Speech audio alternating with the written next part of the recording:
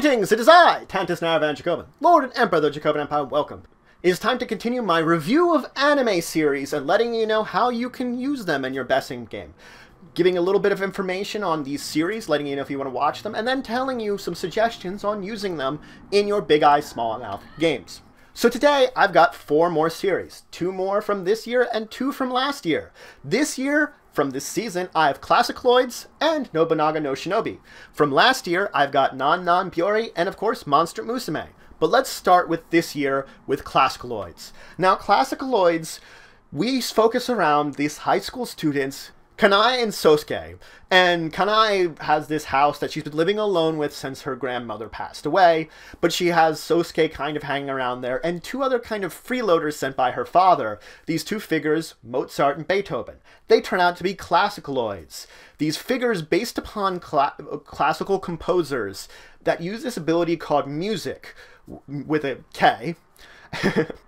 and they can do things like summon almost magical abilities, stars, summon giant robots. It seems this kind of weird thing. It almost seems supernatural. Probably isn't. Probably more, of, you know, pow- some kind of strange power based, but that's the entire adventure of it. That they then meet with other classical classicaloids, kind of contend with what they're doing in their own agendas, while trying to learn the origins of all the classical classicaloids and the origins of the strange powers they have, what it really means to. So, the genres of this series, it's a comedy. It's very funny. The classicaloid characters are these, like, really comical caricatures of their own classical composers with very eccentric things that are their own sort of abilities. It, it really comes, lends to itself for entertainment. It's also music based. There's this entire essence of music that kind of goes through the entire series and exists there, this flow of music, because they are classical composers. But I also call it a science fiction because there's strange abilities about, but it seems more science based than anything. Not magic, not supernatural, science based. Now, I rate this one a 4. It's pretty entertaining, it has some great comedy, some unusual characters, and it's pretty funny, so I would recommend it. Now, if you're using this in your BESM game, I recommend 300 points for your characters. You're going to have a group of classicaloids, of course. Now, they're going to be living away with a number of caretakers, and the entire thing is that they're going to be contending with living their own lives with their own kind of goals that you're going to be building.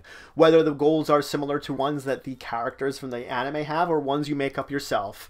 You're going to have to deal with other classicaloids bothering with you, various other adventures dealing with them, probably the daily lives of your caretakers, the NPC versions of Kanae and Sosuke that you're probably going to be bothering a lot, whether they are those characters or ones your game master makes up themselves. And of course, you're going to be trying to learn the origins of yourselves as classicaloids, whether it's based on the anime or not, and the depths of the abilities that they have. Now let's move on there and talk about the next series, Nobunaga no Shinobi. Now this series focuses around a young sh uh, shinobi girl, uh, Chidori. Now, she was saved as a child by Nobunaga, Oda Nobunaga, the historical figure, and so then when she grew up, she uh, she has dedicated herself to serving as his personal shinobi. So she goes and journeys and basically volunteers herself to assist him, and she then goes on small missions and adventures while dealing with a lot of these classical and historical figures that are kind of comical versions of themselves, uh, while she's also accompanied by her childhood friend and fellow shinobi, Sukezo. So, of course, I would call this one a comedy series. There's lots of funny things going on a lot of the historical figures are very much so caricatures of their actual historical selves and very funny things over and she has very little common sense even though she is an excellent ninja. Now, I'd also call it historical. There's a lot of figures based upon, of course, historical figures here from ancient Japan, and so it has that very well tone of it. And I'd call it a ninja. It's all about Chidori, this ninja who's doing ninja things in a very silly kind of comical manner, of course. Now I rate this one a 5. It's small episodes, but it's really excellent and very funny. Now if you're using this in a BESM game, I'd recommend 200 points. You're going to be a team of ninja taking the place of Chidori and Sukezo. It'll be a group of whatever number of characters you have in place of it. They'll be, of course, be working for Oda Nobunaga and doing little missions for him, doing little things, doing things while dealing with all the various historical figures, the comical versions of them, which could be your game master's own version of them, or the versions from the anime. Up to them what kind of version they're going to build, of course. And of course, in whatever episode you're session you will have, you'll have to deal with probably some kind of small mini mission that will take the place of it.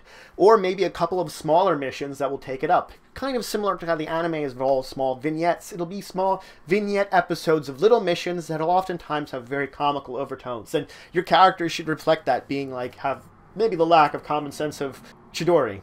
Now let's move on and talk about the anime series from last year. The first one is Non Non Biyori, which is actually, we're talking about the second season, but there has been a couple of seasons and other things related to it. So Non Non Biyori focuses around this rural town in Japan far away from any city. Their store is pretty distant away that you can have to go quite for a walk on it. It has very few of the modern conveniences that someone from a city will go to. In fact, it's so small that the school that's there only which only goes up to the middle school, elementary middle school, only has five students in it from various different grades. That's how many children are the entire town. When people get to about high school age, they have to go away to high school wherever they go to. So our series focuses around Hotaru.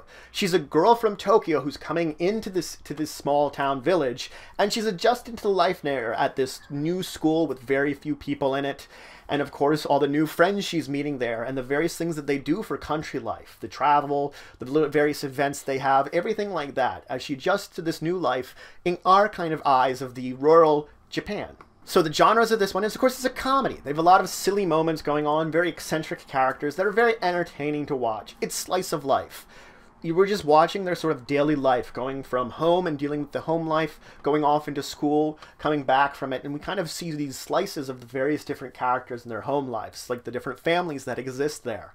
It's also rural life, I would call it. It's all about this kind of rural, out of the way life in Japan, and the small village life, which is kind of disappearing and isn't seen as much anymore in actual Japan.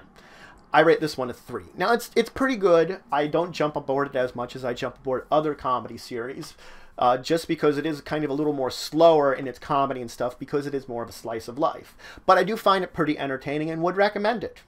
Now, if you're using this in a best game, I recommend 100 points. You're going to make your characters the cast of children that are going to this school. Maybe some of them are from the city. Maybe them for some of a more larger villages or something like that that have moved in at various different points in time. You could have your Hotaru-like character.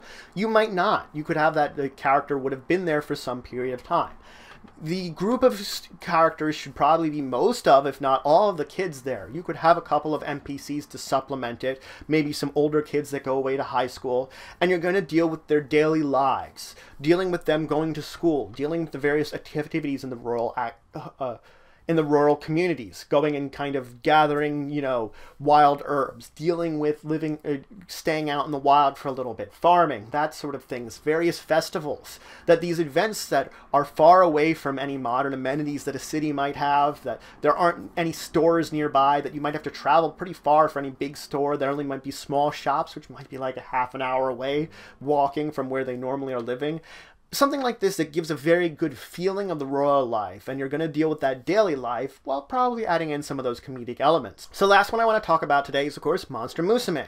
Now for this one, about three years ago, uh, Japan revealed that they had been keeping secret the existence of mythological creatures. And they passed this law, basically an exchange act, in order to basically begin to integrate them into more modern day society, these mythological creatures. So now we're many years later, and they basically have exchange programs with them living in like as exchange students in houses. You almost have to think about that under guardianship of various families, learning how to integrate society and hoping bringing it back to their own. So meet Kimihito, who didn't sign up for the program at all and has been living at home. Unfortunately, he gets into this situation where he ends up helping out this Lamia girl, Miia, and effectively then becomes her caretaker. And over the course of the series, more and more of these various different species of monster girls ends up effectively getting into situations and he helps them out. And effectively his home gets expanded with more and more of them. Now each of them has a different relationships and likes him to different degrees. Some of them really like him a lot others less. But then he also gets has encounters with of course the group that's kind of looking over this entire situation and then other monster people that are out there oftentimes of course female but others of course too. And it builds in the situation of not only his relationship with each of the ones that are living in his household but helping them live almost in this modern life when they have societies and bodies that were originally built to live in this normal world and sort of adapting to that and helping them learn in order to kind of integrate into the society So, of course, if I'm talking about the genres, it's a harem. That's the first thing you really have to say about it. It really is. It's more than one girl likes him out of a group of them. Of all these monster girls, they really do. All of them like him to a different degree, but there are some of them that really like him a lot more than others. It's a comedy series. There's a lot of comedic situations. He gets really beat up. He he always is this really nice guy. It's really hard to get him angry. He always does the right thing. That's kind of one of the reasons they always like him because he treats them like normal girls, even though they technically are monsters.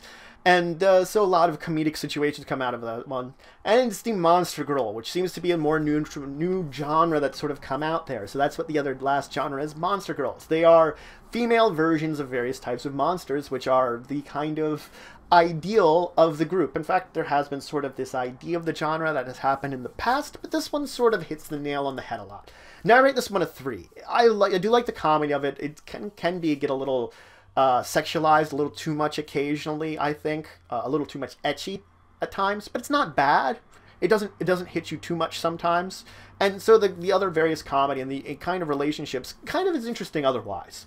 Now, if you're using this in a BESM game, I recommend 300 points you're going to make your characters monsters. Whether you're going specifically Monster Girl to uh, mimic the anime or not, that's up to your game master whether they're going to go up. But they're basically going to be a group together in one family and in one in one household, and they will have some kind of NPC that will be the kind of focal point of them, the human token human, who whether they literally like the person or not will be up to you. Kind of building if it's going to be a kind of harem anime based with the PCs being the members of it or not. That's completely up to how you build the game. But regardless, the characters will be dealing with integrating into basically normal Japanese society, normal human society, while being these unusual monsters and having their own basically family issues or societal issues based upon whatever monster they are. You could either use societies and monsters from the anime, which they have established a large number of them, or you could come up with some on your own, of course. They might also deal with some of the administration problems that's going on with the entire setup, or possible other monsters that are out there, probably either friendly or unfriendlies, but they would have little adventures in dealing with them, possibly visiting various places where there might be other monsters, or going on various different travels. So that's it for today. I introduced you to, of course, four new series that you can either watch to enjoy them or use them in your BESM games. I gives, gave you the little review of them, gave you some suggestions for the BESM game. I hope you enjoy them as much as I enjoyed these series. But if you have any questions, comments, anything you say, anything you think I left out, please leave in the comments below. Please like, share, and subscribe to support for the channel, the Empire, and the work I do. If you want to show some extra support, you can always check out my Patreon, linked in the description below. But regardless, until the next time, I bid you farewell.